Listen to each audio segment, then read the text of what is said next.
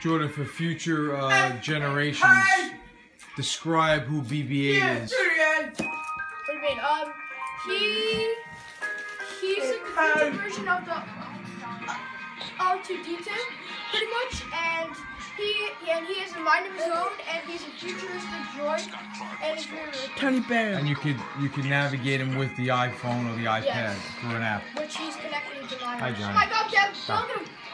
Look at him. Come on. He's looking, he's watching it. Does he do anything? Yeah, Well, look. you hold move, right? Isn't that what you're doing? Yeah, hold on a sec. It's uh, he has to do it. They got it. Connect. They He's gotta, got He has it. he's to gotta sync up, soft- Jordan. Yeah, he has to install software. It takes a few, but I'm sure it's. Wait, mom. So do, you, so do you think I, I can travel this right way? Yes, but I think where do you? Yeah, you want to get. Jordan, you have no shoes or socks on. You gotta put something on. This is an accident waiting to happen. Jordan, this is one of my favorite recent Why Christmas are tunes. all these things so hard to open? They needed four pieces of tape on this thing. Oh, once like that, it's at 80% loaded.